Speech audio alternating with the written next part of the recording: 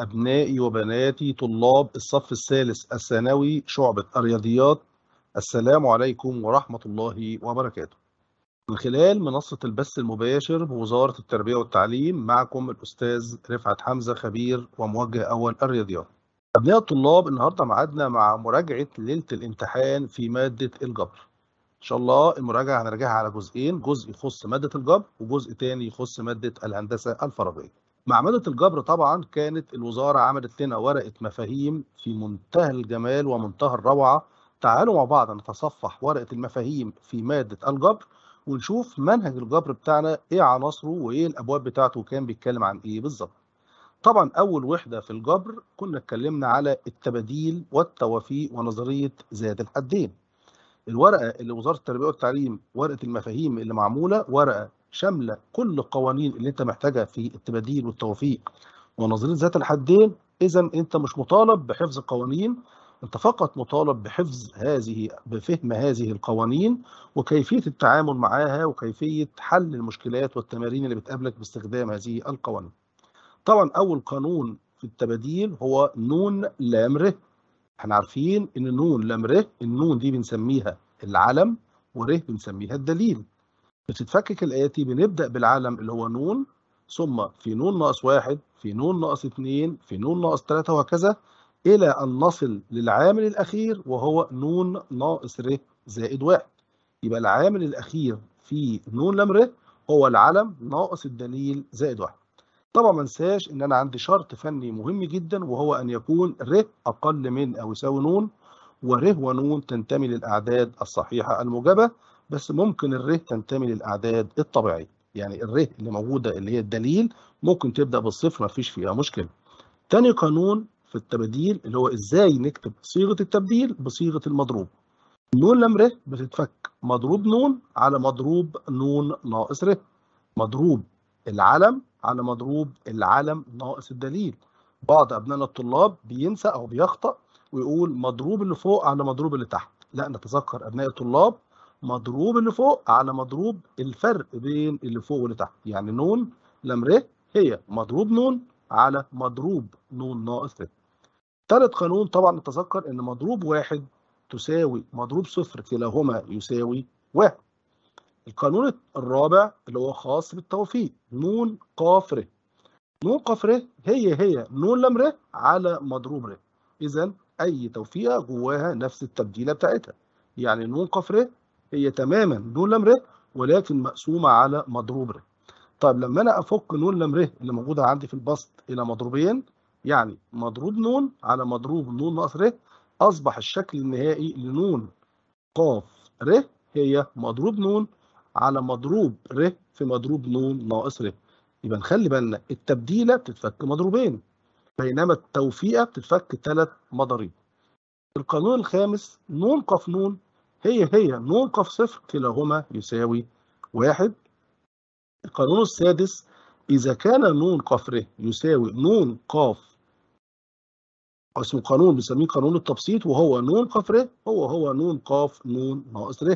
يعني مثلا على سبيل المثال 11 قاف 9 هي هي تماما 11 قاف 2 2 دي اللي هي الفرق بين 9 بين 11 و9 عشان كده سميناه قانون التبسيط. مثلا كمان مثال آخر 15 قاف 11 هي هي تماما 15 قاف 4 القانون السابع يقول لي إذا كان نون قاف س يساوي نون قاف ص عندي هنا احتمالين. إما س تساوي ص أو مجموعهم يساوي نون. يبقى إما س تساوي ص أو س زائد ص يساوي نون وده قانون في منتهى الأهمية. نستكمل مع بعض قوانين التباديل والتوافيق ونظرية ذات الحدين في ورقة المفاهيم أيضا عندنا النسبة بين قانونين النسبة بين توفيقين متتاليين يعني نون قاف ر على نون قاف ر ناقص واحد. اتفقنا عند قسمة توفيقين متتاليين كما بالشكل العلم هو العلم والدليل اللي في البسط يزيد عن الدليل اللي في المقام بمقدار واحد. بتتفك كالآتي يا أبناء الطلاب نون ناقص ر زائد واحد على ر عشان تجيبها بسهولة هاتها من البسط. هاتها من التوفيقة اللي موجودة في البسط. العلم ناقص الدليل زائد واحد على الدليل اللي موجود في البسط أو الدليل الكبير. يبقى نون قاف ر على ن ق ر ناقص واحد هي ن ناقص ر زائد واحد على ر. القانون التاسع وهو جمع توفيقين متتاليين. ن ق ر زائد ن ق ر ناقص واحد. نلاحظ القانون الثامن والتاسع شرط أساسي لتنفيذهم أن يكون نفس العلم. يعني نون نون هنا أيضا نون نون. إذا كان عشان أجيب نون ق ر زائد نون ق ر زائد ناقص واحد ببدأ أشتغل على الأولى مثلا أو الثانية وأزود واحد فوق وأزود واحد تحت. يعني بشتغل على الصغيرة وأزود واحد فوق وأزود واحد تحت. يعني ن زائد واحد ق ر ناقص واحد. لما أزود عليها واحد هتبقى ر. أو تجيبها من الكبيرة زود واحد على العلم الكبير وخد نفس الدليل الكبير. يبقى ن ق ر زائد ن ق ر ناقص واحد هي ن زائد واحد ق ر كده انتهينا من قوانين التباديل والتوفيق تعالوا نفكركم بقوانين ذات الحدين. س زائد أ الكل السنون. اتفقنا لازم تكون عارف طريقة إيجاد هذا المفكوك أول حد دايما بيبقى ن ق صفر في الثاني أس صفر في الأولاني أس س أس ن وبالتالي ن ق صفر بواحد أ أس صفر أيضا بواحد يبقى يبقى لي الثاني الأولاني اللي هو س أس ن بعد ذلك ن ق واحد في س أس ن ناقص واحد في أ أس واحد. بعد كده ن ق 2 في س أس ن ناقص 2 في أ أس 2 وهكذا إلى أن أصل إلى الحد الثاني أس ن اللي هو أ أس ن دي طريقة إيجاد مفكوك ذات الحدين. عايزين نلاحظ أبناء الطلاب لو كانت الإشارة بين الحدين سالبة هيبقى الحدود الزوجية الترتيب هتبقى سالبة. يعني الحد الثاني والرابع والسادس والثامن وهكذا هتبقى الحدود. الزوجية الترتيب إشارتها تبقى إشارة سالبة طيب إزاي نجمع س إزاي نجمع س زائد أ الكل أس ن زائد س ناقص أ الكل أس ن يعني مجموع قوسين مفكوكين مترافقين. يعني الإشارة بينهم إشارة سالبة ونفس الأس وبينهم إشارة زائد. في هذه الحالة عبارة عن ضعف الحدود الفردية الترتيب من المفكوك الأولاني. يعني 2 في الحد الأول زائد الحد الثالث زائد الحد الخامس وهكذا بس بشرط الكلام ده من المفكوك الأولاني اللي هو س زائد أ أس ن أما إذا كانت الإشارة بين الحدين سالبة في هذه الحالة هتبقى ضعف الحدود الزوجية الترتيب. يعني 2 في الحد الثاني زائد الحد الرابع زائد الحد السادس وهكذا برضو من المفكوك الأول. ولازم أكون عارف ليه أبناء الطلاب الكلام ده بيحصل. أنا لو فكيت القوس الأولاني وفكيت القوس الثاني هلاقي إن الحد الثاني من المفكوك الأول هيطير مع الحد الثاني من المفكوك الثاني بس الحد الأول دبل يعني اتكرر مرتين عشان كده اتنين من الحد الأولاني. كذلك الحد الثالث هيبقى دبل والحد الرابع هيطير مع الحد الرابع. وهكذا فهلاقي إن جميع الحدود الزوجيه الترتيب هتطير. هتبقى ليا الحدود الفردية الترتيب متكررة مرتين عشان كده بنقول 2 في ضعف الحدود الفردية الترتيب. أما لو كانت الإشارة بينهم سالبه بنفس الطريقة تماما الحدود فردية الترتيب هي اللي هتتحذف مع بعض ويتبقى ليا الحدود الزوجيه الترتيب متكررة مرتين عشان كده 2 في الحدود الزوجيه الترتيب من المفكوك الأولاني. أيضا حالة خاصة أو نتيجة يعني حالة خاصة على هذا المفكوك في حالة واحد زائد أو ناقص س اس ن لازم أكون عارف شكل المفكوك بتاعها بس دي حالة خاصة بشرط واحد زائد س أو واحد ناقص س الكل اس ن مفكوكها يا أبنائي الطلاب هتبقى واحد زائد أو ناقص ن ق واحد س اس واحد زائد ن ق 2 س اس 2 زائد ن ق 3 س اس 3 وهكذا. ولو كانت ناقص أيضا هتبقى ناقص. مع ملاحظة أيضا إن الحدود الزوجيه الترتيب موجب أو سالب أما الفردية الترتيب هتبقى موجبه نستكمل قوانين ذات الحدين. الحد العام في ذات الحدين ده أحد أهم القوانين في هذا الدرس نظرية ذات الحدين. فأغلب المسألة بتعتمد على إيجاد الحد العام للمفكوك اللي أمامه. الحد العام هو ح ر زائد واحد عبارة عن ن ق ر في الثاني اس ر في الأولاني اس ن ناقص ر. تاني ن ق ر في الثاني اللي هو أ أس ر في الأولاني أس ن ناقص ر. هذا القانون هو قانون الحد العام. طيب إيه هو الحد الأوسط في مفكوك ذات الحدين والحدين الأوسطين؟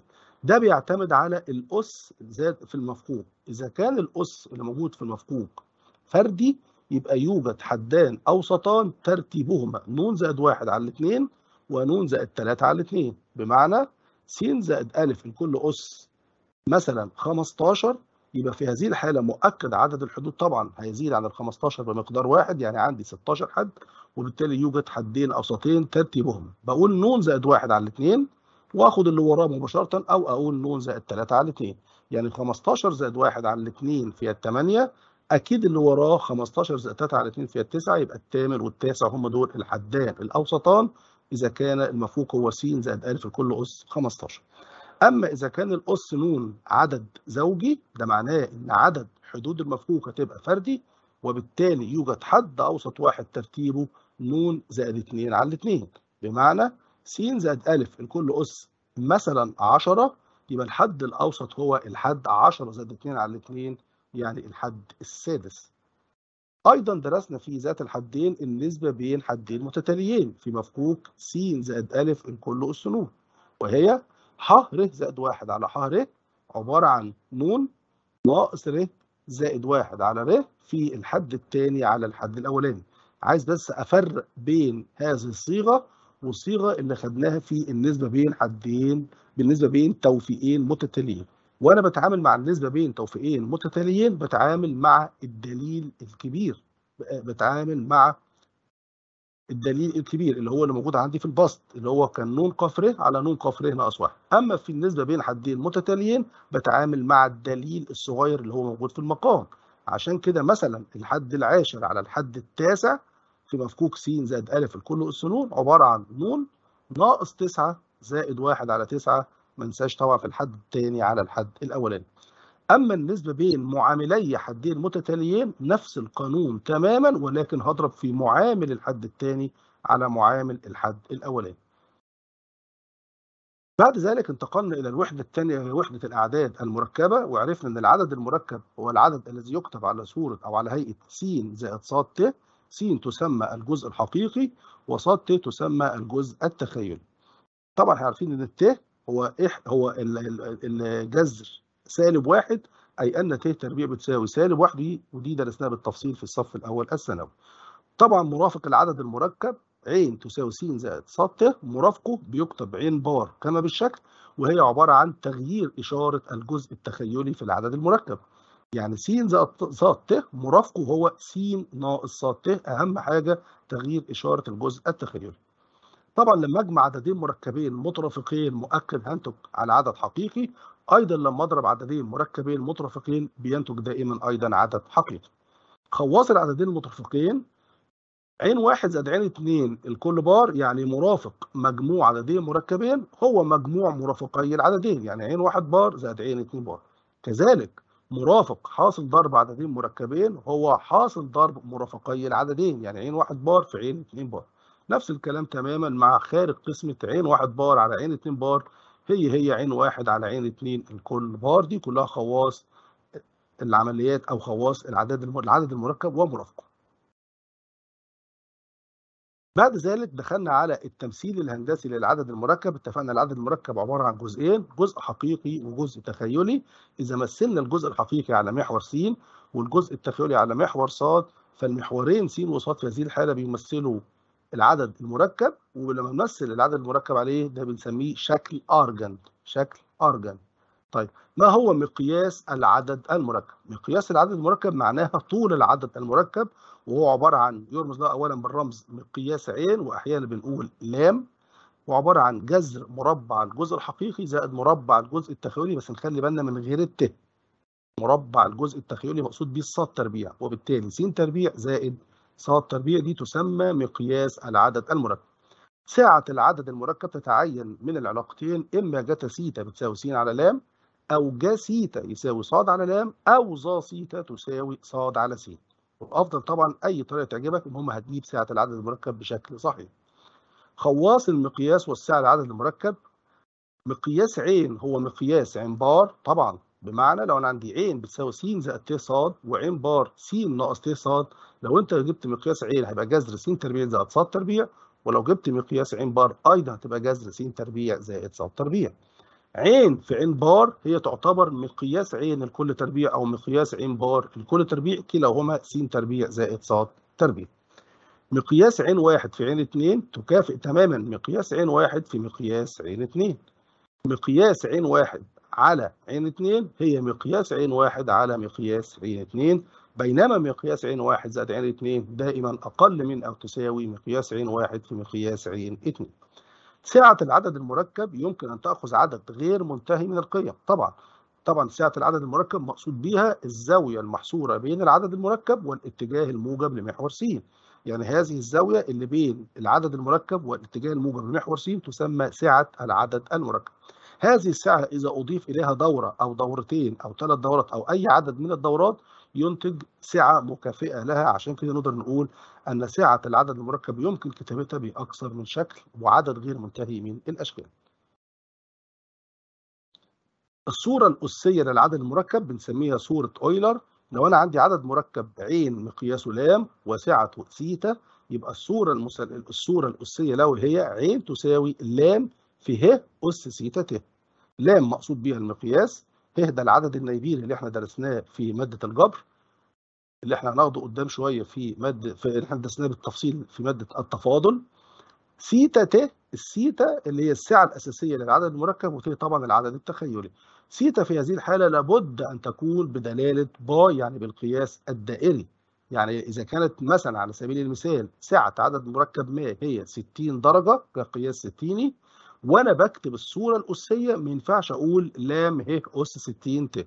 لازم ال 60 دي تتحول بدلالة باي اللي هي تكافئ باي على 3 ت لازم تكتب بهذا الشكل اللي هو القياس الدائري. طبعا ه أس سيتا ت ده عدد مركب في الصورة الأسية.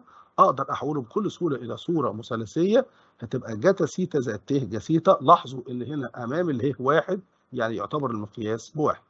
أما ه أس سالب سيتا ت هي جتا سيتا ناقص ت جا سيتا وطبعا جتا سيتا هي جتا سالب سيتا وجات وسالب جا سيتا هي جا سالب سيتا وبالتالي شكله النهائي جتا سالب سيتا زائد ت جا سالب سيتا عشان الصورة المثلثية للعدد المركب. بعد ذلك تطرقنا إلى نظرية ديموافر بتعلمني إزاي أرفع العدد المركب اللي بالصورة المثلثية أو حتى الصورة الأسية لأي أس. هذا الأس قد يكون أس صحيح عدد صحيح سواء موجب أو سالب أو أس كسر.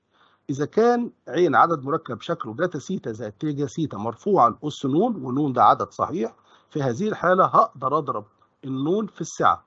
طب إذا كان في مقياس هرفع المقياس لنفس الأس نون. يعني لو كان العدد عين عبارة عن لام في جتا سيتا زائد ت جا سيتا يبقى عين أس نون عبارة عن لام أس نون في جتا نون سيتا زائد ت جا نون سيتا بس بشرط تكون نون دي عدد صحيح. طيب إذا كان كاف عدد موجب فإن جتا سيتا زائد ت جا سيتا الكل أس واحد على كاف. بمعنى هتعلمني هذه الطريقة إزاي أجيب عدد مركب مرفوع لأس نص أو تلت أو ربع أو خمس وهكذا.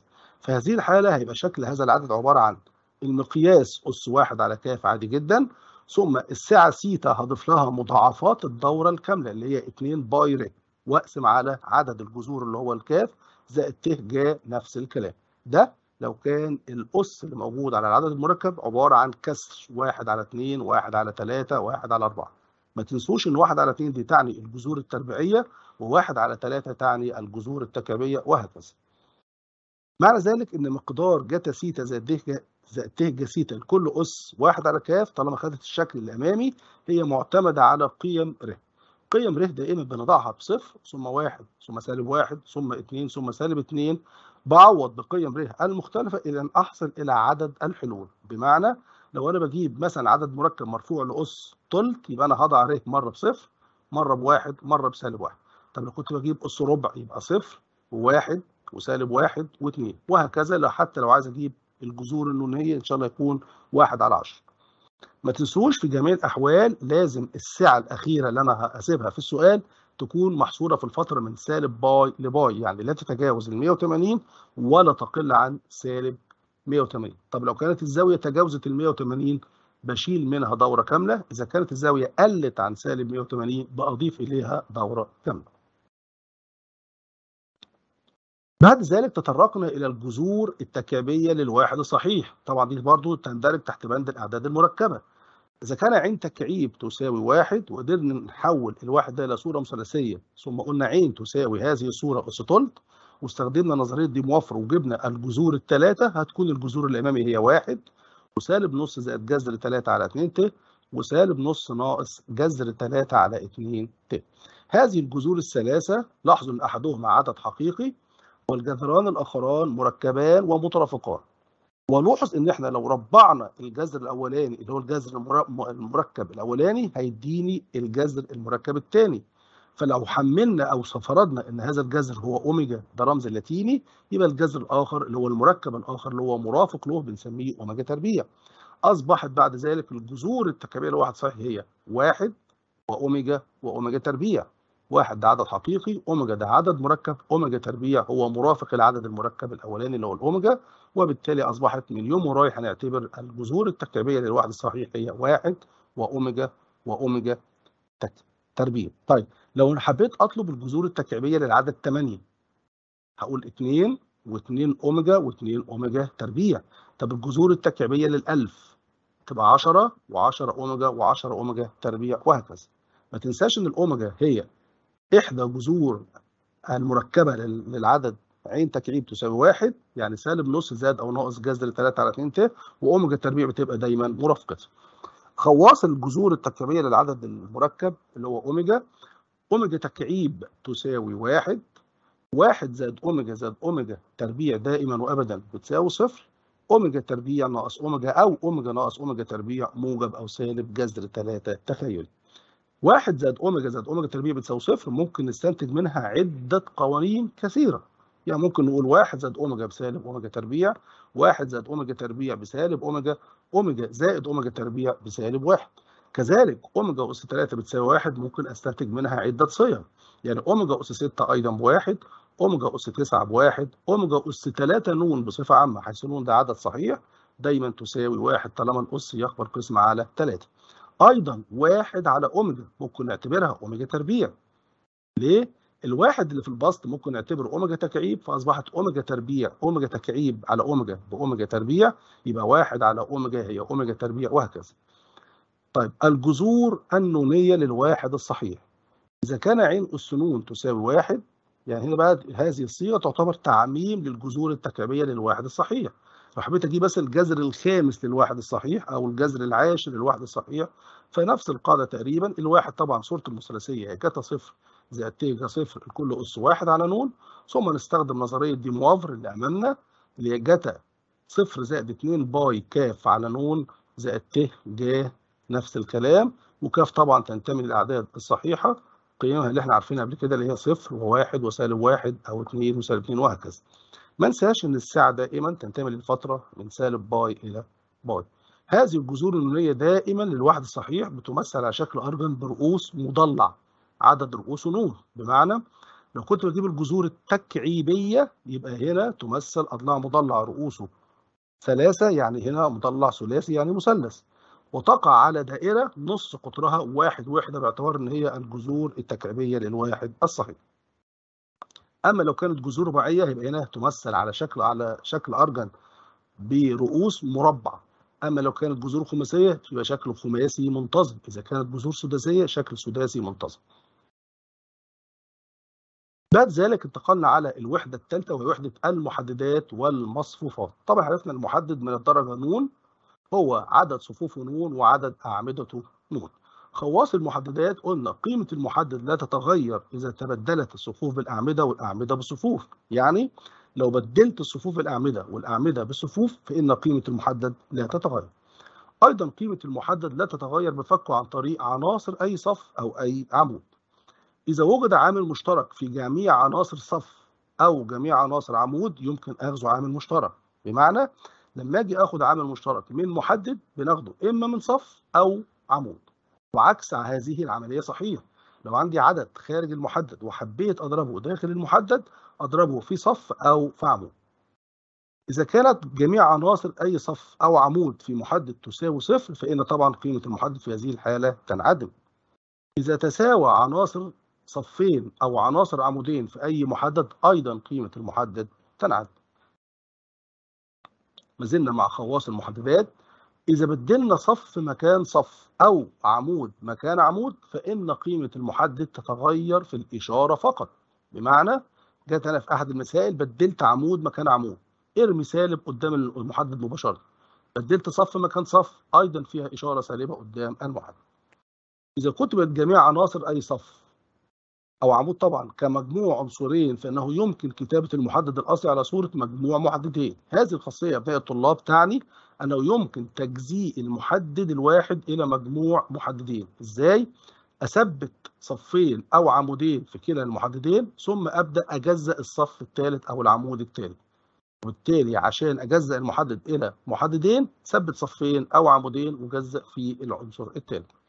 أيضا عكس هذه الخاصية صحيح ينفع أجمع محددين بس بشرط تساوي صفين أو تساوي عمودين. في هذه الحالة الصفين المتشابهين أو العمودين المتشابهين ثبتهم ثم اجمع الصف أو العمود المختلف. طبعا قيمة المحدد اللي على الصورة المثلثية تساوي حاصل ضرب عناصر القطر الرئيسي طب إيه هي الصورة المثلثية يا أبناء الطلاب؟ هي بتبقى العناصر أسفل القطر الرئيسي الثلاث عناصر اللي أسفل القطر الرئيسي كلها تساوي صفر أو الثلاث عناصر أعلى القطر الرئيسي كلها أيضا تساوي صفر. في هذه الحالة قيمة المحدد هتساوي حاصل ضرب عناصر القطر الرئيسي. الخاصية الأخيرة في أي محدد إذا ضربت عناصر أي صف أو أي عمود في عدد ما وأضيفت النواتج إلى صف آخر فإن قيمة المحدد لا تتغير. بمعنى جيت في أي محدد وليكن مثلا محدد ثلاثي ضربت عناصر الصف الأول في خمسة وضفت النواتج نواتج الضرب ضفتها على صف آخر مؤكد قيمة المحدد لا تتغير. هذه الخاصية هي الخاصية الأخيرة في فواص المحددات. بعد ذلك ننتقل إلى المصفوفات. لازم نتذكر كويس جدا إزاي نجيب المعكوس الضربي للمصفوفة المربعة من النظام 3 في 3 الأول تعالوا نفكركم إزاي كنا بنجيب المعكوس الضربي للمصفوفة على نظام 2 في 2 درسناها في أولى ثانوي. قلنا بنجيب محددها الأول ولازم نتأكد إن محددها لا يساوي صفر ثم هنقول المعكوس الضربي اللي كان رمزه ا اس ناقص واحد عبارة عن واحد على المحدد ثم نبدل عناصر القطر الرئيسي ونغير إشارات القطر الغير رئيسي. ده في النظام الثنائي يعني مصفوفة 2 في 2 أما في النظام 3 في 3 الخطوات بتختلف شوية. أول حاجة لازم نجيب محدد هذه المصفوفة ونتأكد إنه لا يساوي صفر.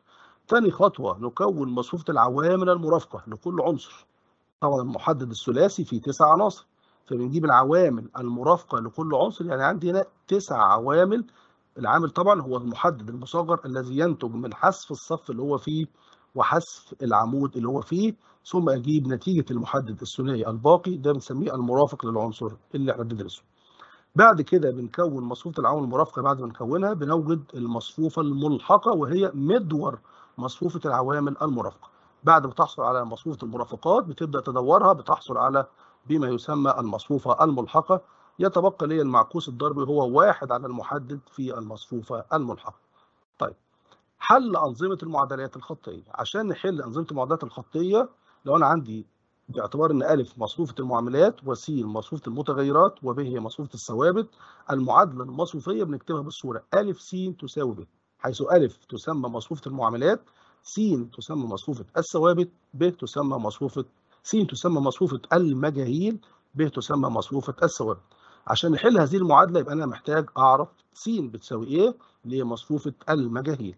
لو إحنا ضربنا في ا اس ناقص واحد في الطرفين ا اس ناقص واحد في ا هيديني آي اللي هي مصفوفة الوحدة في س اللي هي س الطرف الأيسر هو ا اس ناقص واحد في ب. ده معناه إن أنا محتاج أجيب المعكوس الضربي لمصفوفه المعاملات واضربها في مصفوفة الثوابت. النواتج اللي هحصل عليها نتيجة الضرب هي مصفوفة المجاهيل وهي حل نظام المعادلات. إيه هي مرتبة المصفوفة؟ كنا درسنا إزاي نجيب رتبة المصفوفة. قلنا مرتبة المصفوفة الغير صفرية هي أعلى درجة لمحدد أو محدد أصغر للمصفوفة قيمته لا تساوي صفر. بمعنى لو أنا عندي محدد ثلاثي يبقى أعلى درجة لهذا المحدد هي 3 وبالتالي رتبة هذا المحدد أو رتبة هذه المصفوفة يا 3 يا 2 يا 1 طبعا ما أقدرش أقول صفر إلا إذا كانت المصفوفة صفريه وبالتالي إذا إذا كانت المصفوفة على النظام 3 في 3 يبقى رتبتها إما 3 أو 2 أو 1 طيب إمتى أعرف إن هي رتبتها 3 لو كان محدد الثلاثي نفسه لا يساوي صفر. يعني محدد المصفوفة لا يساوي صفر في هذه الحالة طالما لا تساوي صفر يبقى الرتبه 3 طيب إذا كان محدد المصفوفة الثلاثية يساوي صفر ده معناه إن خلاص مش هتبقى الرتبة 3 وبالتالي هننزل نجرب الرتبة 2 لو لقيت محدد ثنائي من المحددات اللي موجودة لا يساوي صفر وبالتالي هنقول رتبته رتبة هذه المصفوفة أصبحت 2 طب لو كانت جميع المحددات الثنائية التسعة هيساوي صفر ده معناه إن رتبة المصفوفة هتبقى بالعدد واحد. إيه هي المصفوفة الموزعة الموسعة لنظام من المعادلات اللي كنا بنسميها بالرمز ألف ستار؟ هي عبارة عن مصفوفة عبارة عن جزئين الجزء الأولاني منها هو مصفوفة معاملات المعادلات ثم بنضع جنبها مصفوفة المجاهيل اللي هي بنسميها ب بتتكتب بالشكل الأمامي ألف ثم شرطة منقطة ونحط عمود المجاهيل وطبعا نظام هذه المصفوفة عبارة عن ميم في نون زائد واحد. هي أصلا الأصل ميم في نون؟ بعد ما زودنا عدد الأعمدة واحد أصبحت ميم في نون زائد المعادلات الغير متجانسة. ما معنى معادلة غير متجانسة؟ هي المعادلة اللي على الصورة أ س تساوي ب وب مصفوفة غير صفرية. يعني العناصر اللي بره أحدها أحدهم على الأقل لا يساوي صفر. طيب من نظام المعادلات الغير متجانسة إذا كان رتبة المصفوفة الأصلية يساوي رتبة المصفوفة الموسعة يساوي عدد المجاهيل في هذه الحالة بنقول يكون لها عدد لا نهائي من الحلول. يكون لها آسف يكون لها حل وحيد. يبقى نظام المعادلات المتجانسة يكون لها حل وحيد. إذا كان رتبة المصفوفه الأصلية تساوي رتبة المصفوفه الموسعة تساوي عدد المجاهيل. أما إذا كان رتبة المصفوفه الأصلية تساوي رتبه المصفوفه الموسعة أقل من عدد المجاهيل يعني قيمتها أقل من عدد المجاهيل يعني لو كان عدد المجاهيل ثلاثة والرتب المصفوفه الأصلية والمصفوفه الموسعة كلاهما باثنين في هذه الحالة بنقول يوجد عدد لا نهائي من الحلول لهذه المعادلات. أما إذا كان رتبه المصفوفه الأصلية لا تساوي أساسا رتبه المصفوفه الموسعة ده معناه أنه لا يوجد حل على الإطلاق لهذا النظام من المعادلات. هذا الكلام خاص بالمعادلات الغير متجانسة. أما المعادلات المتجانسة هي زيها بالظبط ولكن الفرق إن عمود الثوابت كله إصفار يعني مصفوفة صفرية وبالتالي هنا في نوعين فقط من من الحلول. الحل الأولاني إذا كان رتبة المصفوفة الأصلية تساوي رتبة المصفوفة الموسعة تساوي عدد المجاهيل في هذه الحالة يوجد عدد لا نهائي من الحلول وهذا العدد لا آسف إذا كان رتبة المصفوفة الأصلية يساوي رتبة في نظام المعادلات المتجانسة بيبقى طبعا مصفوفة الثوابت بتبقى كلها أصفار. في هذه الحالة يوجد نوعين فقط من الحلول. إذا كان رتبة المصفوفة الأصلية يساوي رتبة المصفوفة الموسعة في هذه الحالة يوجد حل وحيد لهذا النظام. هذا الحل بنسميه الحل الصفري وأحيانا بنقول الحل البديهي وبالتالي عرفنا نظام هذا المعادلات. أما إذا كان رتبة المصفوفة الأصلية تساوي رتبة المصفوفة الموسعة أقل من عدد المجاهيل في هذه الحالة يوجد عدد لا نهائي من الحلول من بينهم الحل الصفري طبعا كده خلاص أبناء الطلاب انتهينا من مراجعة ورقة المفاهيم اللي هي شمل جميع المنهج اللي إحنا درسناه بالتفصيل وبالتالي هي ورقة مفيدة جدا جدا جدا جدا بتذكرك بكل عناصر المنهج. تعالوا مع بعض نشوف المراجعة بتاعتنا في صورة أمثلة اختيار من متعدد متضمنة أسئلة وردت في امتحانات السنوات السابقة وأيضا في نماذج التجريبية اللي وزارة التربية والتعليم عاملاها لأبنائنا الطلاب. أول مثال معايا بيقول لي إذا كان واحد واوميجا وأوميجا تربيع هي الجذور التكعيبية للواحد الصحيح فإن المقدار 14 زائد 6 أوميجا زائد 21 أوميجا تربيع على 8 أوميجا تربيع ناقص 7 تساوي نقط يا ترى سالب أوميجا ولا أوميجا ولا أوميجا تربيع ولا سالب؟ أوميجا تربيع. للتعامل مع هذا السؤال أبنائي الطلاب تعالوا نتحرك كالاتي 14 زائد 6 أوميجا زائد 21 أوميجا تربيع. أقدر أجزأ الساب 6 أوميجا إلى سالب 6 سالب 6 أوميجا تربيع. وهسيب ال 21 أوميجا تربيع كما هي. يبقى أنا في البسط جزأت الجزئية اللي اسمها 6 أوميجا إلى سالب 6 سالب 6 أوميجا تربيع. الجزئية اللي موجودة في المقام 8 أوميجا تربيع أقدر اجزئها إلى سالب 8 سالب 8 أوميجا. سالب 8 سالب 8 أوميجا ناقص 7 تعالوا مع بعض نختصر البسط. 14 ناقص 6 هحصل على 8 سالب 6 أوميجا تربيع زائد 21 أوميجا تربيع هحصل على 15 أوميجا تربيع. عندي في المقام سالب 8 سالب 7 هحصل على سالب 15 سالب 8 أوميجا. طيب وصلت للشكل اللي أمامي برضو ما وصلتش لنتيجه إيه رأيكم أبنائي الطلاب ناخد من البسط أوميجا تربيع عامل مشترك؟ هتقول لي إزاي آخد أوميجا تربيع؟ هي الثمانيه دي جنبها أوميجا؟ آه جنبها أوميجا تكعيب. إحنا عارفين كويس جدا إن أوميجا تكعيب واحد. فاعتبر هذه الجزئية اسمها 8 أوميجا. فاعتبر هذه الجزئية اسمها 8 أوميجا تكعيب. لما أسحب أوميجا تربيع عامل مشترك فيتبقى لي فوق 8 زائد 8 أوميجا زائد 15 ومن المقام هسحب سالب عامل مشترك فاحصل على 15 زائد 8 أوميجا. هلاحظ إن هذا القوس هو نفس القوس اللي موجود في المقام هيتحسبوا مع بعض. هتبقى ليا أوميجا تربيع على سالب أوميجا يعني الناتج النهائي سالب أوميجا تربيع وبالتالي إجابتي الصحيحة هي الإجابة الاخيره. نشوف مع بعض مثال آخر.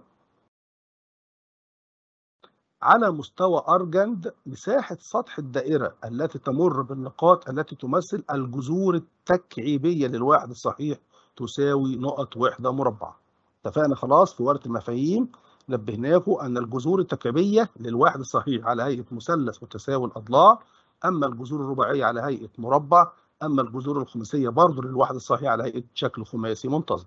بما انه بيتكلم على الجذور التكعيبية اذا الجذور هنا تمثل مثلث متساوي الاضلاع على شكل أرجنت كما بالشكل الامامي. العدد الأولاني أو الجذر الأولاني شكله الرياضي جاتا صفر زائد ت جا صفر اللي هو قيمته بواحد. الشكل الثاني اللي هو الأوميجا اللي هو صورته المثلثية جاتا 120 زائد ت جا 120. العدد الثالث جاتا سالب 120 زائد ت جا سالب 120 اللي تمثل أوميجا تربيع. هذه الجذور الثلاثة لو مثلناها بشكل أرجند عبارة عن دائرة نص قطرها واحد وهو عايز هنا مساحة سطح الدائرة مش عايز مساحة سطح المثلث. مساحة سطح الدائرة طبعا باي نق تربيع وأنا متأكد إن نص القطر هنا بواحد باعتبار إن هي الجذور التكعيبية للواحد الصحيح باي نق تربيع يعني باي في واحد تربيع بباي وبالتالي إجابتي الصحيحة هي الإجابة الأولى. المثال الثالث. في مفكوك س زائد أ الكل أس ن حسب قوة س التنازلية إذا كان الحد الرابع هو نفسه الحد الخامس عشر من النهاية فإن ن تساوي نقط. في هذا المثال مديني س زائد أ أس ن وقايل لي إن الحد الرابع من البداية هو الحد الخامس عشر من النهاية. طيب الحد الرابع من البداية هو الحد ترتيبه ح الحد الرابع من البداية هو الحد الترتيب 15 من النهاية والترتيب ال 15 من النهاية بنجيبه كالآتي أبناء الطلاب ن زائد 2 ناقص 15 يعني ترتيبه من البداية ن زائد 2 ناقص 15 النون عندي هنا ن زائد 2 زائد 15 يعني ن ناقص 13 ده معناه إن ن ناقص 13 بتساوي 4 وبالتالي ن هتساوي 17 وبالتالي عشان يكون الحد الرابع من البداية هو الحد ال 15 من النهاية لابد أن تكون ن هنا تساوي 17 وبالتالي إجابتي الصحيحة هي الإجابة الثالثة. ننتقل مع بعض للمثال الرابع قيمة المحدد 2 كاف 2 تلت 6 3 1 على كاف 2 كاف كاف نص حيث كاف لا يساوي صفر تساوي 6 كاف واحد على 6 كاف تساوي صفر. طيب لو إحنا تأملنا هذا المحدد لو قدرت أشتغل على الخواص اللي إحنا درسناها وقدرت أخلي صفين زي بعض أو عمودين زي بعض أقدر أثبت إن هذا المحدد يساوي صفر وده أغلب المسائل بتطلع بصفر. طيب لو إحنا بصينا ابناء الطلاب في العمود الثالث هو تلت وواحد على كاف ونص لو إحنا ضربنا هذا العمود في سالب 6 كاف هذا العمود هنضربه في سالب 6 كاف ونضيف النواتج على العمود الأولاني ماذا يحدث؟ تلت لما اضربها في سالب 6 كاف أحصل على سالب 2 كاف لما أضيفها على موجب 2 كاف أحصل على صفر. كذلك واحد على كاف لما أضربها في سالب 6 كاف أحصل على سالب 6 واضيفها على العمود الأولاني أحصل على صفر. النص لما أضربها في سالب 6 كاف أحصل على سالب 3 كاف أضيفها على العمود الأولاني أحصل على صفر. بعد هذه العملية لقيت إن العمود الأول جميع عناصره تساوي صفر وبالتالي قيمة هذا المحدد تساوي صفر وعلى هذا الأساس اختياري الصحيح هو الاختيار الأخير. المثال الخامس بكم طريقة يمكن للجنة مكونة من سبعة أعضاء أن تتخذ قرارا بالأغلبية؟ أمامي لجنة مكونة من سبعة أعضاء هنتخذ قرار ما بس هناخده بشكل ديمقراطي وهو رأي الأغلبية. طيب إيه هي أغلبية؟ إيه الأغلبية في لجنة مكونة من سبع أعضاء؟ عشان يكون في أغلبية يتم اتخاذ القرار إذا صوت عليه أربعة أو خمسة أو ستة أو سبعة. الأغلبية هنا أربعة أو خمسة. ليه أربعة؟ الأربعة دول أكتر من ثلاثة لو كانوا خمسة الخمسة أكبر من الاثنين التانيين. لو كانوا ستة الستة أكبر من واحد. لو كانوا سبعة يعني كلهم وافقوا على القرار. وبالتالي يتم اتخاذ القرار إذا صوت عليه أربعة أو خمسة أو ستة أو سبعة. وبالتالي هنا نقدر نقول عدد الطرق هي سبعة قف أربعة زائد سبعة قف خمسة زائد سبعة قف ستة زائد سبعة قف سبعة. طيب ليه قلت زائد؟ لاحظوا هنا أداة الربط أو. إحنا اتفقنا أداة الربط و معناها عملية ضرب. أما إذا كان أداة الربط أو دي معناها عملية جمع. وبالتالي 7 قف 4 زائد 7 قف 5 زائد 7 قف 6 زائد 7 قف 7 باستخدام الآلة الحاسبة أحصل على النتيجة 64 وبالتالي إجابتي الصحيحة هي الإجابة الأخيرة. نشوف مع بعض المثال السادس. إذا كان 4 قف ر زائد 2 تساوي 4 قف 2 ناقص ر فإن قيم ر تساوي نقط يا ترى صفر. ولا صفر و2 ولا سالب 2 و2 ولا سالب 2 وسالب 1 وصفر و1 و2 أنا أمامي توفيقين بيساووا بعض. العلم هو العلم. ده معناه إن الدليل يساوي الدليل أو مجموع الدليلين يساوي صفر. لو أنا قلت الدليل يساوي الدليل يعني ر زائد 2 تساوي 2 ناقص ر وده معناه بكل بساطة إن ر هنا تساوي صفر وده أحد الحلول. الشرط الثاني اللي هو مجموع الدليلين يساوي العلم يبقى ر زائد 2 زائد 2 ناقص ر تساوي 4 لاحظوا اللي هيحصل الآتي إن الر هتروح مع الر حصلت على 4 زائد 4 لما أجي أحل معادلة أبناء الطلاب والمتغير الرئيسي أو المجهول الرئيسي اللي أنا بجري وراه اختفى يبقى لازم أخلي بالي لو لقيت الطرف الأيمن مساويا للطرف الأيسر ده معناه إن هذه العلاقة صحيحة لجميع قيم أما لو لقيت المتغير الرئيسي اختفى من المعادلة والطرف الأيمن لا يساوي الطرف الأيسر ده معناه إن المعادلة دي ليس لها حل على الإطلاق. وبالتالي بعد ما مشينا الر مع الر لقيت إن 4 تساوي 4 ده معناه إن هذه العلاقة صحيحة لجميع قيم ر الممكنة. وبالتالي حل هذه المعادلة هندور على قيم ر الممكنة. طب إيه هي بقى قيم ر الممكنة في هذه العلاقة؟ إحنا عارفين في التوفيق إن لازم إن الدليل اللي تحت أقل من أو يساوي العلم يعني الر زائد 2 ديت لابد أن تكون أكبر من أو يساوي صفر وأقل من أو يساوي 4 اللي هو العلم اللي فوق. وبالتالي لما أضيف سالب 2 لجميع الأطراف هتبقى سالب 2 أقل من أو يساوي ر أقل من أو يساوي 2 وبالتالي قيم ر في هذه الحالة هي سالب 2 سالب 1 صفر 1 2 وهي دي جميع قيم ر التي تحقق هذه العلاقة بشكل صحيح. أحد أبناء الطلاب إزاي يقول لي ممكن الر تساوي سالب 2 فتقول لي لازم تنتمي لأعداد صحيحة مجرد. تمام. أنا بقول لك المقدار ده كله ينتمي للأعداد الطبيعية أو الأعداد الصحيحة المجرد بما فيه نص وبالتالي لما أحط ر بسالب 2 هيبقى المجموع هنا بصفر مفيش مشكلة. أهم حاجة ما يكونش الناتج النهائي للدليل يكون كمية سالبه بالتالي ما فيش مانع تكون ر هنا بسالب 2 أو سالب 1 أو صفر أو 1 أو 2 وبالتالي إجابتي الصحيحة لهذا السؤال هي الإجابة الأخيرة. ننتقل مع بعض المثال السادس إذا كان 6 نون ق 3 و4 نون ق 4 و5 نون ق 5 في تتابع هندسي فإن نون تساوي نقط ويديني عدة اختيارات. ما معنى إن ثلاث عناصر في تتابع هندسي؟ ثلاث عناصر في تتابع هندسي معناه إن الأول في الثالث بيساوي المربع اللي في النص. أما إذا كانوا في تتابع حسابي في مثال آخر هنقول الأول زائد الثالث ضعف اللي في النص.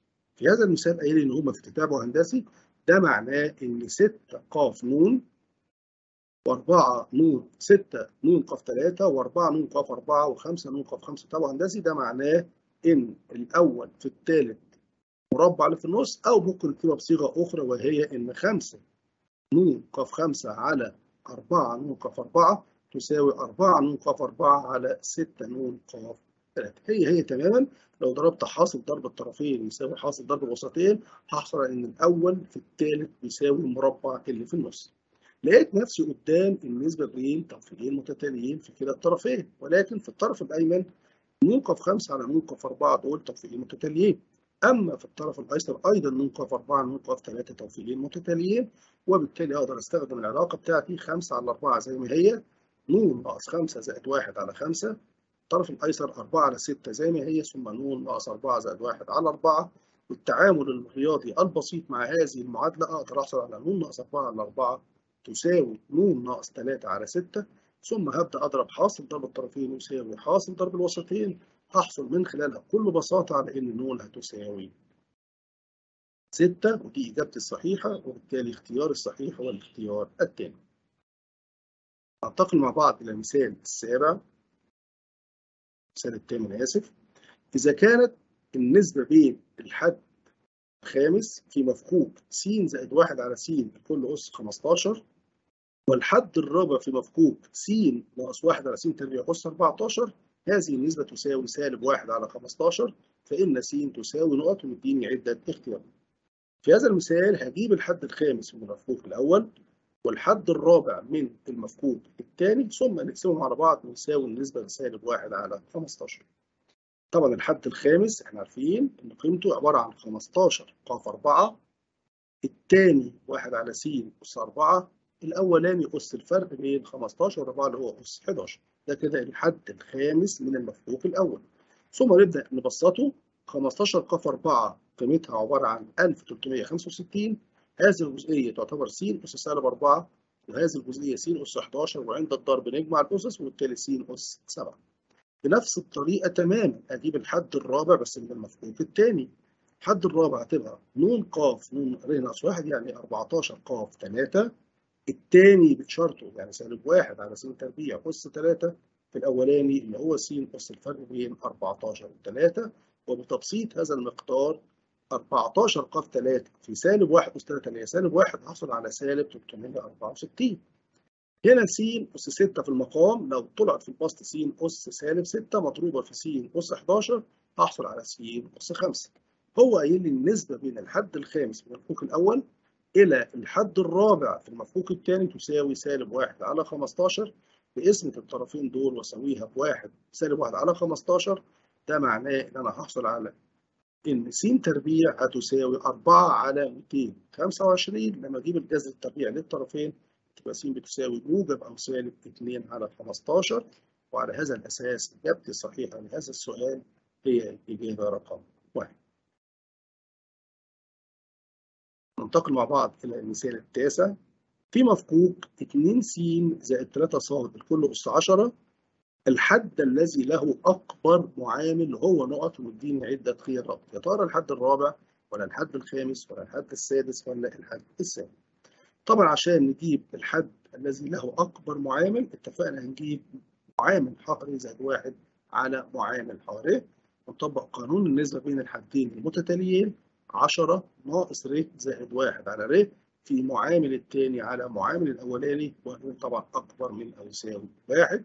بالتعامل مع هذه المتباينة هحصل على 33 ناقص 3 ر على 2 ر أكبر من أو يساوي واحد.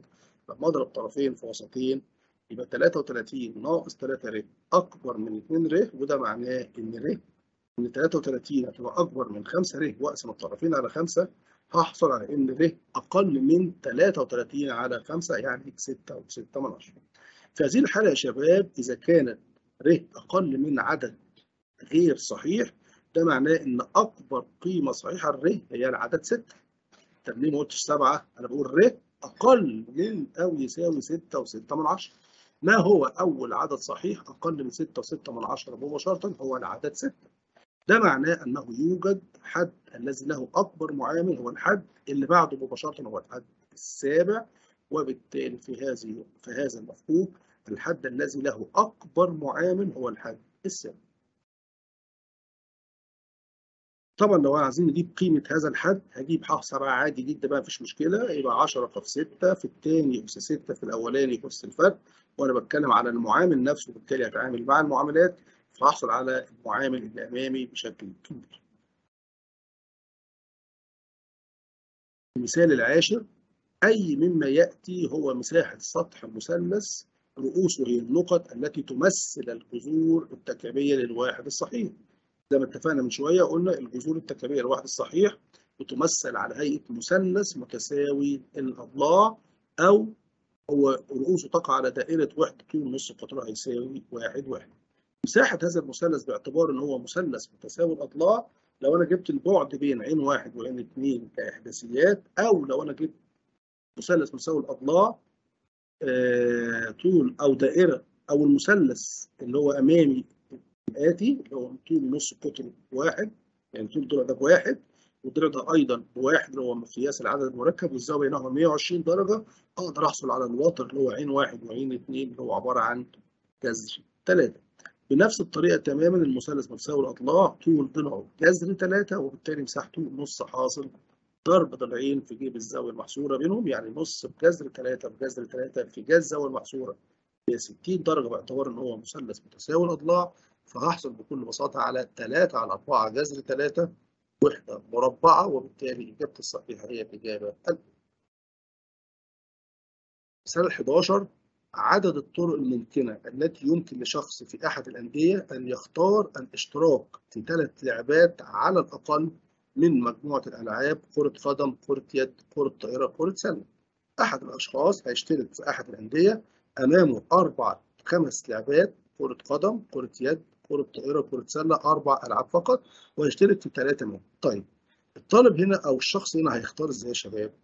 بكل بساطة هيختار الاشتراك في ثلاث لعبات أو أربع لعبات. ليه هو قايل لي يشترك في ثلاث لعبات على الأقل؟ ثلاث لعبات على الأقل من أربع لعبات معناه إنه يشترك في ثلاثة أو أربعة. ثلاث لعبات أو أربع لعبات يبقى لاحظ الاختيار هنا بدون ترتيب وبدون تكرار. ليه بدون ترتيب؟ مش هيفرق معايا إن أنا اخترت كرة قدم ثم كرة يد ثم كرة سلة. لو قلت السله ثم القدم ثم اليد ترتيبها مش هتفرق معايا. كذلك ما ينفعش اختار كرة قدم وكرة قدم وكرة قدم ما ينفعش هنا اقرر إذا هنا ما فيش ترتيب وما فيش أيضا تكرار وبالتالي عدد الطرق عبارة عن 4 ق 3 زائد 4 ق 4 يعني استعملت عملية التوافيق وبالتالي اختيار الصحيح هو الاختيار الأول. في مفكوك س تربيع ناقص 1 على س كل أس 15 حسب قوى س التنازلية قيمة الحد الخالي من س. طبعا لإيجاد الحد المشتمل على س أس ك اتفقنا بنجيب الحد العام ثم نجعله في أبسط صورة ممكنة ثم نساوي الأس اللي موجود على س بالأس المطلوب نحصل على الحد المطلوب. في هذا المثال عايز الحد الخالي من س يبقى إحنا هنجيب الحد العام اللي هو ح ر زائد 1 عبارة عن 15 ق ر الثاني سالب 1 على س أس ر في الأولاني اللي هو س تربيع أس 15 ناقص ر لما نختصر هذا المقدار هنحصل على 15 ق ر سالب 1 أس ر س أس 30 ناقص 3 ر. ليه 30 ناقص 3 ر؟ أس الأس طبعا بيتضرب يعني 2 في 15 ب 30 و2 في سالب ر. بسالب 2 ر وأيضا في هنا كمان سالب ر عشان كده 30 ناقص 3 ر. هاخد المقدار اللي هو 30 ناقص 3 ر وأساويه بصفر لأنه عايز الحد الخالي من س من خلالها بكل بساطة تبقى ر تساوي 10 أنبه أبناء الطلاب طالما ر تساوي 10 يبقى الحد الخالي من س هو الحد الحادي عشر. هو حد يستعجل ويقول هو الحد العاشر. لأن أنا عندي هنا اسمه ح ر زائد واحد. بالتالي الحد الخالي من س هو الحد ال 11 نجيب قيمته إزاي؟ نعوض فيه الحد العام اللي أنا مختصره بس أعوض في جزء المعامل فقط باعتبار إن هو حد خالي من س بس نخلي بالنا نعوض بالر اللي حصلنا عليه. حصلنا على ر ب 10 يبقى معامل الحد الخالي من س أو الحد الخالي من س نفسه هو 15 ق 10 في سالب 1 أس 10 اللي هي بواحد وبالتالي 15 ق 10 في الاختيارات مفيش 15 ق 10 ولكن باستخدام قانون التبسيط 15 ق 10 هي هي تماما 15 ق 5 وبالتالي إجابتي الصحيحة في هذا السؤال هي الإجابة الأولى. ننتقل مع بعض للمثال التالي إذا كان أ تساوي جاتا سيتا جا سيتا سالب جا سيتا جاتا سيتا فإن أ تربيع أس سالب واحد تساوي نقط ومديني عدة اختيارات. في هذا المثال مصفوفة على النظام 2 في 2 عاوز يجيب المعكوس الضربي لمربع هذه المصفوفة. تعالوا الأول نربع هذه المصفوفة، طبعا تربيع المصفوفة مش معناه إن أنا هربع عناصرها. تربيع المصفوفة يعني أنا هضرب المصفوفة في نفسها مرتين. وبالتالي جاتا سيتا جا سيتا سالب جا سيتا جاتا سيتا هتتضرب في نفسها كمان مرة.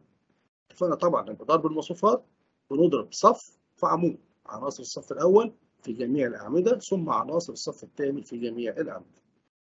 جاتا سيتا بجاتا سيتا بجاتا تربيع سيتا زائد جا في سالب جا بسالب جا تربيع سيتا. نفس الصف أضربه في العمود الثاني جاتا سيتا في جا سيتا بجا سيتا جاتا سيتا زائد كمان مرة جا سيتا جاتا سيتا يعني هحصل على 2 جا سيتا جتا سيتا امسك الصف الثاني واضربه في العمود الأول والعمود الثالث هحصل على سالب جا سيتا جتا سيتا ناقص جا سيتا جتا سيتا ثم هحصل على سالب جا تربيع سيتا زائد جتا تربيع سيتا. لو أنا لاحظت العنصر جتا تربيع سيتا ناقص جا تربيع سيتا إحدى قوانين جتا الضعف وهذه القوانين ذات أهمية خاصة عندنا في المنهج. بنستعملها في التفاضل بنستعملها في الاستاتيكا بنستعملها في الديناميكا بنستعملها في جميع فروع المنهج اللي عندنا في الرياضيات وبالتالي قوانين جتا ضعف جتا الضعف أرجو من أبنائي الطلاب الاهتمام به. جاتا تربيع سيتا ناقص جا تربيع سيتا هي جاتا الضعف كذلك جا سيتا جاتا سيتا وكمان مرة جا سيتا جاتا سيتا يعني 2 جا سيتا جاتا سيتا وده قانون جا الضعف كذلك هنا سالب قانون جا الضعف وهنا قانون جاتا الضعف وبالتالي الشكل النهائي لألف تربيع هو جاتا 2 سيتا جا 2 سيتا سالب جا 2 سيتا جاتا 2 سيتا هذه المصفوفة اللي أنا حصلت عليها تمثل ألف تربيع أنا محتاج المعكوس الضربي له اتفقنا المعكوس الضربي اللي مصفوفة على نظام 2 في 2 لازم الأول نحصل على محدد هذه المصفوفة محدد هذه المصفوفة هو عبارة عن جاتا 2 سيتا بجاتا 2 سيتا يعني جاتا تربيع 2 سيتا بعد كده ناقص جا 2 سيتا في سالب جا 2 سيتا أحصل على زائد جا 2 جا تربيع 2 سيتا جاتا تربيع أي زاوية؟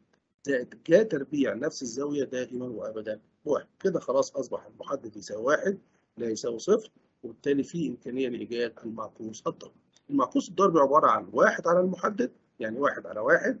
في هنبدل عناصر القطر الرئيسي. طبعا عناصر القطر الرئيسي وهم هم نفس العناصر فتبديلهم مش هيبان معانا. أما في القطر الغير رئيسي هنغير إشاراته. يعني الجا 2 سيتا هحولها إلى سالب جا 2 سيتا وسالب جا 2 سيتا هحولها إلى موجب جا 2 سيتا. هو ده الشكل النهائي للمعكوس الضربي لالف تربيع. وبالتالي لو إحنا بصينا على الاختيارات هنلاقي الاختيار الأولاني هو الاختيار الصح. نشوف مع بعض المثال ال 14 إذا كان واحد وأوميجا وأوميجا تربيع هي الجذور التكعيبية للواحد الصحيح فإن ألف على أوميجا ناقص ألف على أوميجا تربيع زائد 3 ألف على أوميجا أس 4 ناقص 3 ألف على أوميجا أس 5 تربيع تساوي نقط في عدة اختيارات. نصيحتي لأبنائي الطلاب أول ما ألاقي منظر بهذا الشكل يفضل كل الأوميجات اللي موجودة في المقام أنقلها في البسط. بس الأول بعد اختصار. الجزء الأولاني ألف على أوميجا ممكن أعتبرها ألف أوميجا تربيع. الجزء الثاني ألف على أوميجا تربيع ممكن أعتبرها ألف أوميجا. اتفقنا ليه؟ اعتبر جنب الألف اللي هنا أوميجا تكعيب، فأوميجا تكعيب على أوميجا تربيع هي الأوميجا. الجزء الثالث أوميجا أس 4 في المقام أقدر أشيل منها أوميجا أس 3 يعني هتصفصف على أوميجا. يبقى أصبحت 3 ألف أوميجا تربيع. كذلك أوميجا أس 5 في الجزء الأخير أقدر أشيل منها أوميجا تكعيب اللي هي بواحد وبالتالي أصبحت أوميجا تربيع في المقام أقدر أنقلها في البسط إلى أوميجا يبقى أصبحت سالب 3 ألف أوميجا لما اجمع هذا المقدار هجمع ألف أوميجا تربيع مع 3 ألف أوميجا تربيع هحصل على 4 ألف أوميجا تربيع. كذلك سالب ألف أوميجا وسالب 3 أوميجا سالب 4 ألف أوميجا الكل بس 2 طيب تعالوا مع بعض ناخد 4 ألف عامل مشترك بس نخلي بالنا إن في هنا تربيع كما بالشكل. هتبقى لي بين القوسين أوميجا تربيع ناقص أوميجا اللي هي إحنا عارفينها كويس جدا موجب أو سالب جذر 3 تخيلي. طبعا لما افك التربيع اللي عليها تبقى هنا 16 ألف تربيع موجب أو سالب جذر 3 ت لما أنا أفكها أحصل على 3 ت تربيع اللي هي سالب 3 وبالتالي الناتج النهائي 16 في سالب 3 يعني سالب 48 ألف تربيع وبالتالي إجابتي الصحيحة لهذا السؤال هي الأولى. نشوف مع بعض المثال 15 في مفكوك أ س تربيع ناقص ب على س كل أس 12 حسب قوة س التنازلية. الحد السابع وهو نقط ومدينا عدة اختيارات يا ترى هو الحد المشتمل على س أس 6 ولا الحد الخالي من س؟ ولا الحد قبل الأخير يعني الحد ال 12 ولا الحد المشتمل على س أس 7 تعالوا الأول نجيب الحد السابع. طبعا الحد السابع قانونه هو 12 ق 6 الثاني بشرط نخلي بالنا يعني سالب ب على س أس 6 في الأولاني اللي هو ا س تربيع أس 6 اللي هو فرق بين 12 و6 باختصار هذا المقدار هحصل على 12 ق 6 في سالب ب أس 6 في ا أس 6 س أس 6 إذا واضح إن هذه الجزئية كلها معامل في س أس 6 يبقى الحد السابع هو الحد المشتمل على س أس 6 وبالتالي مؤكد إجابتي الصحيحة هي الإجابة الأولى. ننتقل مع بعض إلى المثال 16 إذا كان الرقم السري لقفل يتكون من ثلاث أرقام مختلفة من بين الأرقام 1 2 3 4 لغاية التسعة. بكم طريقة يمكن تكوين رقم سري يحتوي على الرقم 6 هل عندي 168 ولا 126 ولا 336 ولا 224 طيب الرقم 6 له ثلاث طرق لحجز مكان في الرقم. ودلوقتي فرض عليا إن أنا أستعمل الرقم 6 ممكن الرقم 6 يوضع في الخانة الأولى أو الخانة الثانية أو الخانة الثالثة وبالتالي أأكد إن هو موجود طيب المكان الثاني له 8 طرق ليه؟ لأن خلاص الرقم 6 حجز خانة وبالتالي خلاص المكان الثاني هختاره من بين الثمان أعداد الباقيين وبالتالي له 8 طرق اختيار المكان الثالث له سبع طرق اللي هم السبع أرقام الباقيين وبالتالي أصبحت عدد الطرق هو 3 في 8 في 7 احصل على 168 طريقة. مثال 17 إذا كان معامل الحد التاسع في مفكوك أ جذر س ناقص 1 على أ جذر س كل أس 12 حسب قوة س التنازلية هذا الحد التاسع يساوي 7920 فإن أ تساوي نقط ومعايا عدة اختيارات. كل ما في الأمر أبناء الطلاب هنجيب الحد التاسع ونساويه ب 7920 ونتعامل معاه.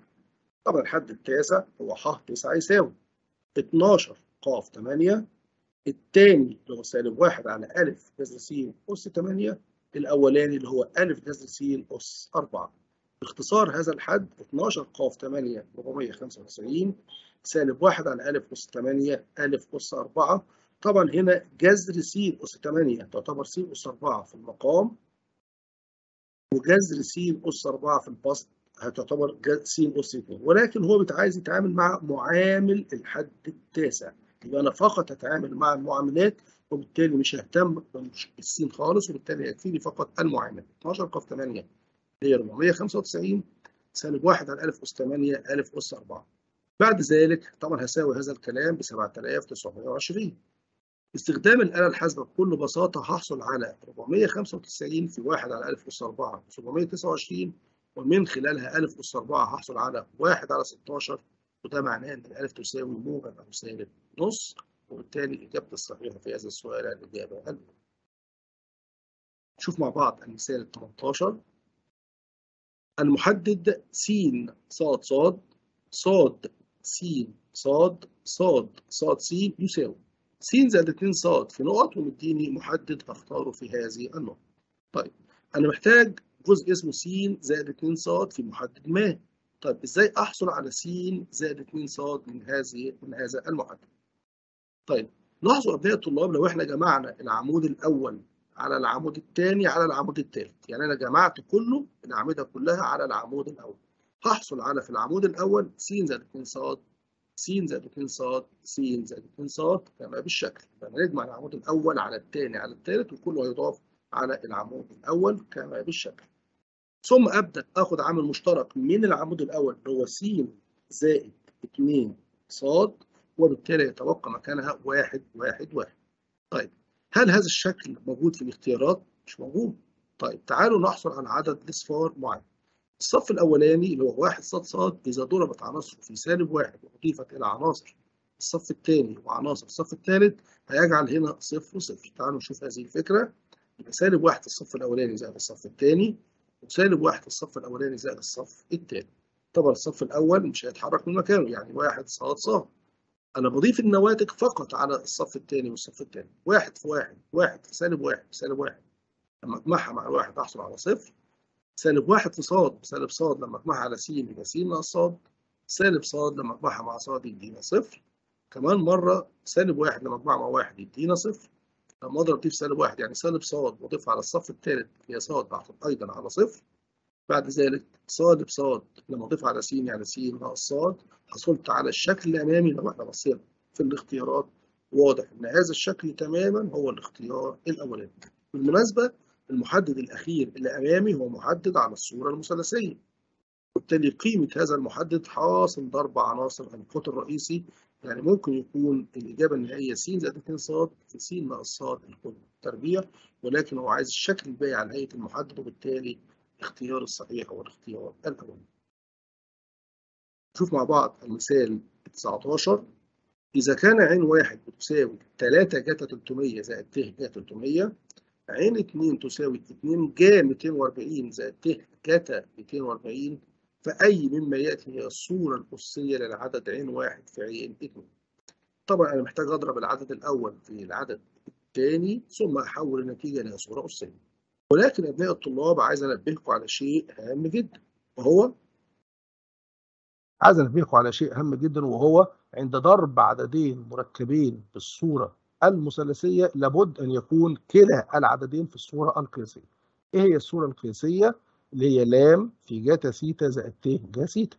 نلاحظ إن العدد المركب الأول هو عدد مظبوط ما فيش فيه أي مشكلة. العدد المركب الثاني فيه مشكلة.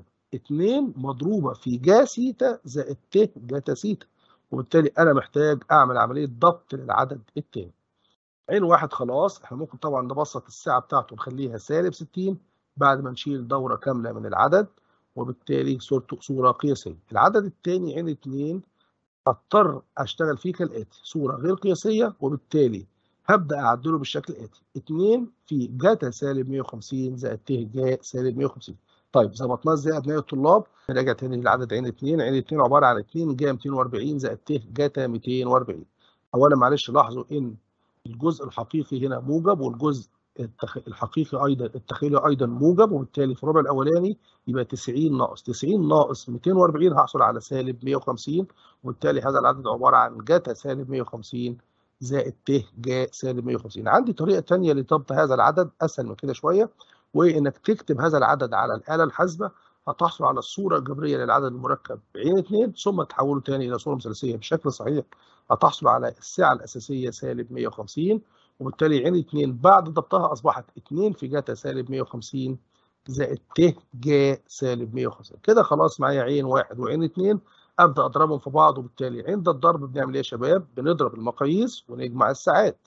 أصبحت عين واحد في عين 2 عبارة عن 3 في 2 ب 6 ثم أجمع الساعتين هجمع سالب 60 مع سالب 150 هحصل على سالب 210 زائد ت جا سالب 210 طبعا سالب 210 عشان اخليها تقع في الفترة من سالب باي إلى باي هضطر أضيف إليها دورة كاملة وبالتالي أصبحت شكلها النهائي 6 في جاتا 150 زائد ت جا سالب 150 الصورة الأسية لهذا العدد هي 6 في ه أس 150 لازم أحولها بالقياس الدائري يعني بدلالة باي يعني 5 على 6 باي ت وبالتالي إجابتي الصحيحة هي الإجابة الأولى.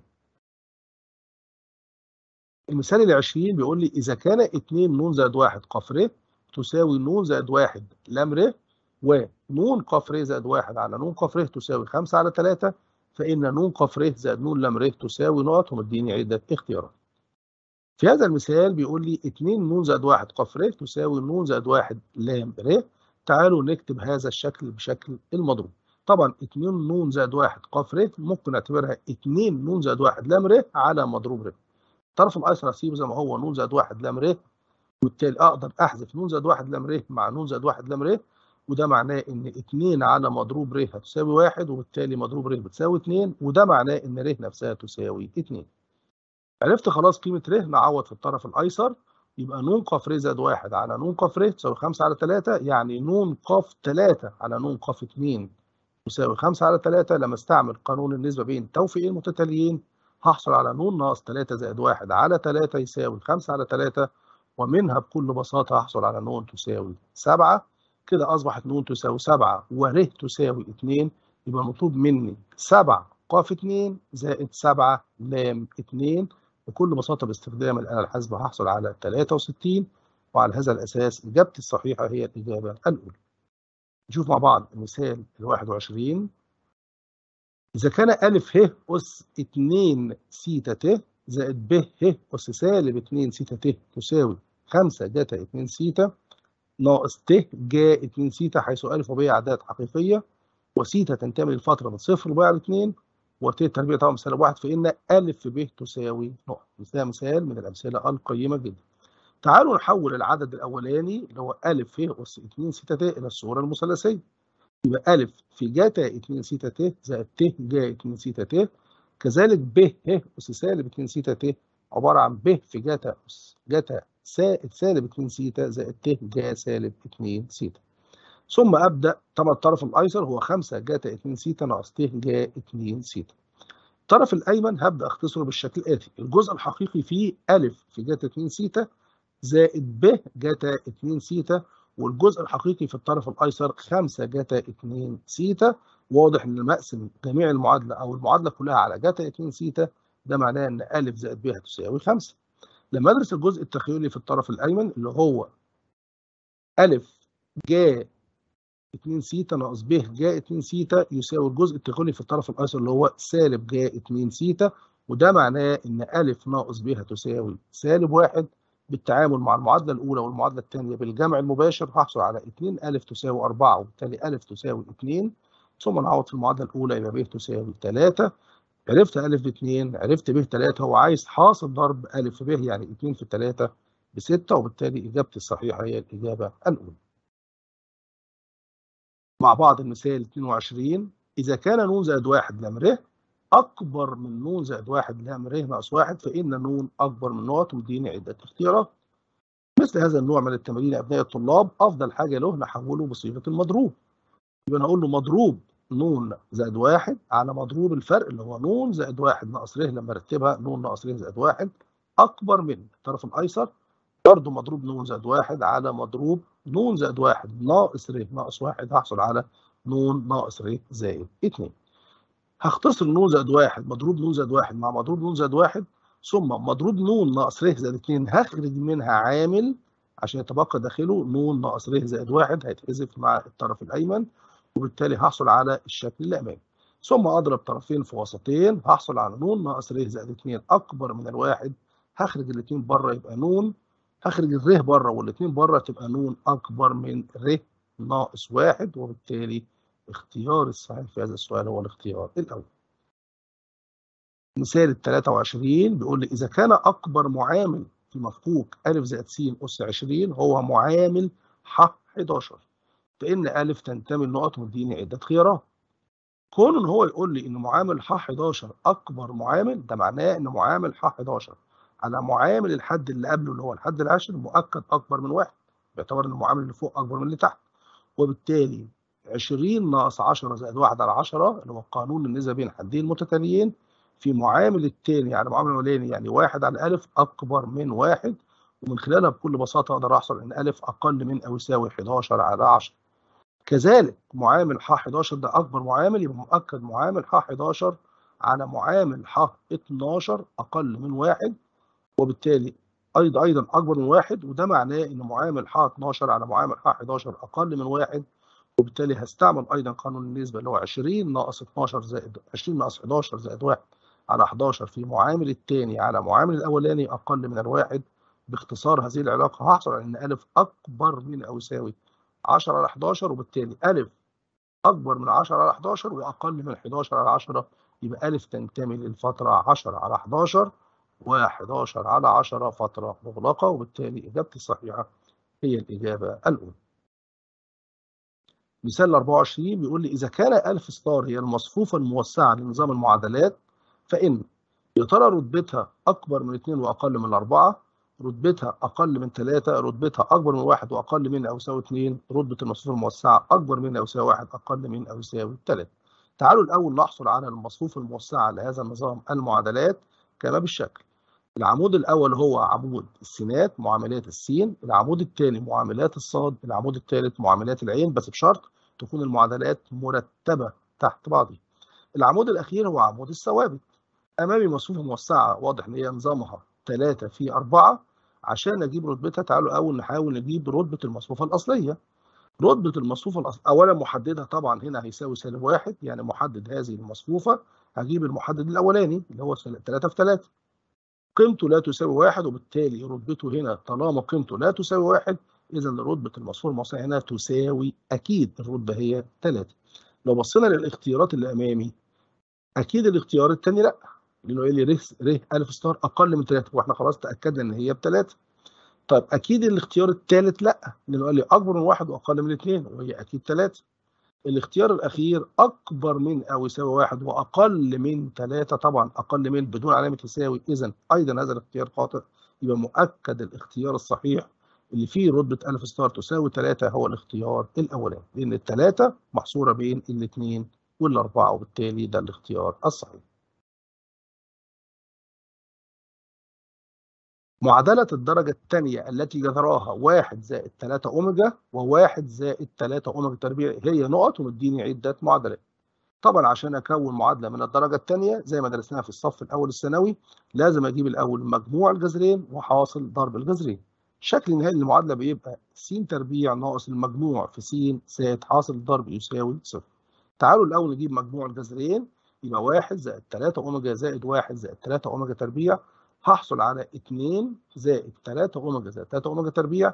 طبعا 3 أوميجا و3 أوميجا تربيع دي بسالب 3 2 ناقص 3 بسالب 1 ده مجموع الجذرين. حاصل ضرب الجذرين بنفس الطريقة بس لازم أتعامل بالأقواس. يعني 1 زائد 3 أوميجا مضروبة في 1 زائد 3 أوميجا تربيع. لما أفك هذه الأقواس وأختصرها هحصل على 1 زائد 9 اللي هي 10 ناقص زائد 3 أوميجا تربيع زائد 3 أوميجا اللي هي بسالب 3 10 ناقص 3 هحصل على 7 كده خلاص عرفت مجموع الجذرين سالب واحد حاصل ضرب الجذرين بيساوي 7 يبقى المعادلة النهائيه هي س تربيع ناقص مجموع الجذرين اللي هو أصلا ناقص واحد. عشان كده قلنا زائد س زائد حاصل ضرب اللي هو بسبعة يساوي صفر. ده الشكل النهائي للمعادلة المطلوبة وبالتالي إجابتي الصحيحة هي الإجابة الثانية. مع بعض المثال 26 إذا كان أ ب أس ناقص واحد تساوي ثمن في واحد سالب 8 6 سالب 40 وألف نفسها سالب 8 7 سالب 1 1 فأوجد ب أس ناقص واحد. في هذا المثال بيقول لي أ ب الكل أس سالب واحد يعني المعكوس الضربي لحاصل ضرب الموصوفتين أ وب هو الشكل الأمامي ومديني عناصر موصوفة أ وعايز يعرف المعكوس الضربي للعناصر المصفوفة ب. إحنا عارفين كويس جدا إن أ ب أس سالب واحد هي ب أس سالب واحد في أ أس سالب واحد. هذا الكلام هيساوي ثمن في واحد ستة سالب 8 سالب 40 أنا محتاج ب أس سالب واحد إذا محتاج أخلص من أ أس سالب واحد اللي معاها وبالتالي هضطر أضرب طرفي هذه المعادلة في أ من اليسار في أ من جهة اليسار. عشان أ أس ناقص واحد لما أضربها في أ هحصل على مصفوفة الوحدة اللي هي أي.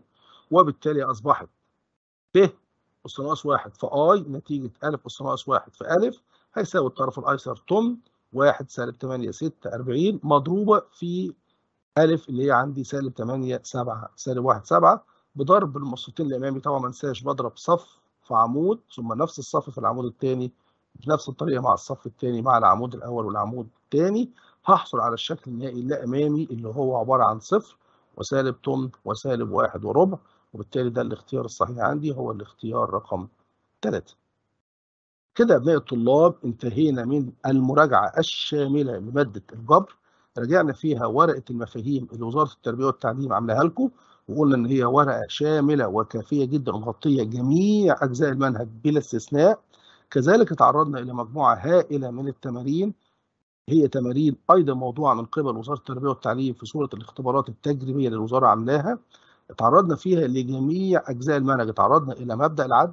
تعرضنا إلى التباديل والتوفيق درسنا فيها نظرية ذات الحدين درسنا فيها مجموعة من الأعداد المركبة درسنا فيها الجذور التكامليه للواحد الصحيح اللي هي الأوميجا أيضا درسنا فيها الجذور التكامليه للواحد الصحيح ودرسنا فيها أيضا المحددات والمسطات بكده انتهينا من المراجعة النهائية. متمنين لكم دوام التوفيق. كان معكم الأستاذ رفعت حمزة خبير وموجه أول الرياضيات مع أطيب تمنيات الإدارة العامة للتعليم الإلكتروني بوزارة التربية والتعليم. والى اللقاء في الحلقة القادمة إن شاء الله أو الدرس القادم هيكون مع الهندسة الفرعيه والسلام عليكم ورحمة الله وبركاته.